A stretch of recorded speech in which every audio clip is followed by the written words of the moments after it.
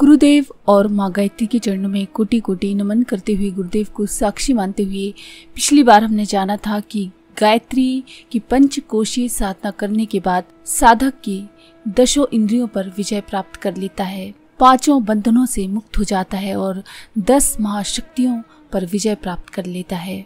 अब हम जानेंगे गायत्री महाशक्ति का अवतरण साधक में जब होता है तो साधक को ध्यान में किस तरह के आभास होते हैं।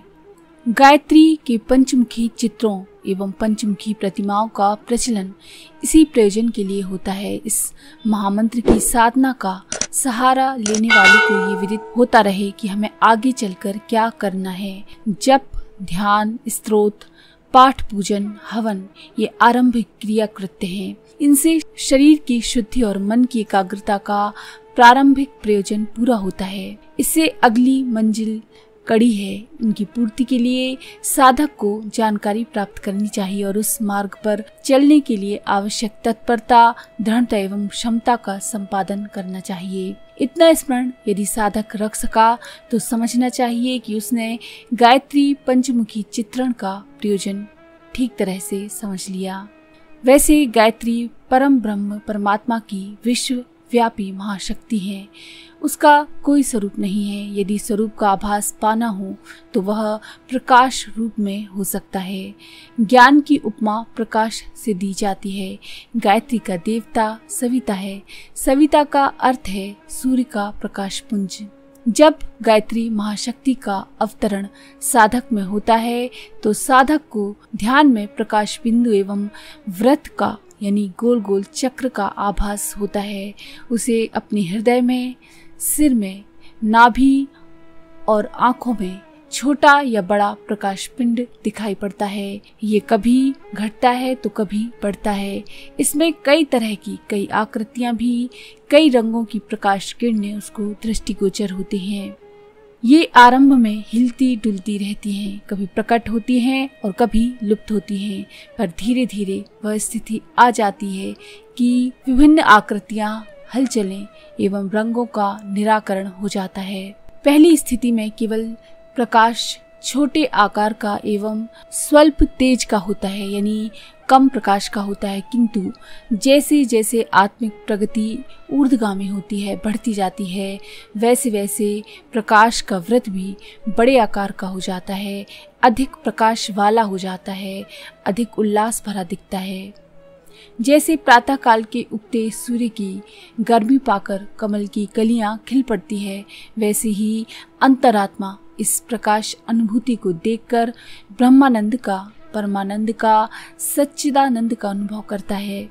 जिस प्रकार चकोर रात भर चंद्रमा को देखता रहता है, वैसे ही साधक की ये इच्छा होती है कि इस प्रकाश को ही देखकर आनंद विभोर होता रहे। कई बार ऐसी भावना भी उठती है कि जिस प्रकार दीपक पर पतंग अपना प्राण होम देता है, अपनी तुच्छ सत्ता को प्रकाश की महत्ता में विलीन होने का उपक्रम करता है, वैसे ही मैं भी अपने अहम को इस प्रकाश रूप ब्रह्म में लीन कर दूँ। ये निराकार ब्रह्म के ध्यान की थोड़ी सी झांकी है अनुभूति की दृष्टि से साधक को ऐसा भान होता है, मानो उसे ब्रह्म ज्ञान की तत्व दर्शन की अनुभूति हो रही हो, ज्ञान के सारांश का जो निष्कर्ष है, उत्कर्ष आदर्शवादी क्रियाकलाप से जीवन को ओतप्रोत कर लेना, वही आकांक्षा एवं प्रेरणा मेरे भीतर जाग रही है। जाग ही नहीं रही ऐसी प्रेरणाएँ और आकांक्षाएँ, बल्कि एक संकल्प का, निश्चय का, अवस्था का, तथ्य का रूप धारण कर रही हैं। प्रकाश की अनुभूति का यही चिन्ह है माया मोह और स्वार्थ संकीर्णता का अज्ञान तिरोहित होने से मनुष्य विशाल दृष्टिकोण से सोचता है और महान आत्माओं जैसी साहसपूर्ण गतिविधियाँ अपनाता है। उसे लोभी और स्वार्थी, मोहग्रस्त, मायाबद्ध लोगों की तरह परमार्थ पथ में साहसपूर्ण कदम बढ़ाते हुए ना तो झिझक लगती है और ना संकोच होता है। जो उचित है, उसे करने के लिए, अपनाने के लिए निर्भीकता पूर्वक साहस भरे कदम उठाता हुआ श्रेय पथ पर अग्रसर होने के लिए द्रुत गति से बढ़ चलता है। ये तो गायत्री रूपी पर ब्रह्म सत्ता के उच्च स्तरीय ज्ञान एवं ध्यान का स्वरूप हुआ। जब आप उच्च स्तरीय ध्यान करेंगे, तब आपको ऐसी अनुभूति होगी। प्रारंभिक स्थिति में ऐसी उच्च स्तरीय अनुभूतियाँ संभव नहीं है। उस दशा में प्रारंभिक क्रम ही अपनाना पड़ेगा। जब पूजन, ध्यान स्तवन, हवन जैसे शरीर साध्य क्रियाकलाप ही प्रयोग में आते हैं। तब चित्त का अवलंबन ग्रहण किए बिना काम नहीं चल सकता।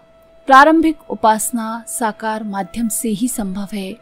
निराकार का स्तर काफ़ी ऊँचे उठ जाने पर आता है। उस स्थिति में भी प्रतिमा का विरोध या परित्याग करने की आवश्यकता नहीं पड़ती।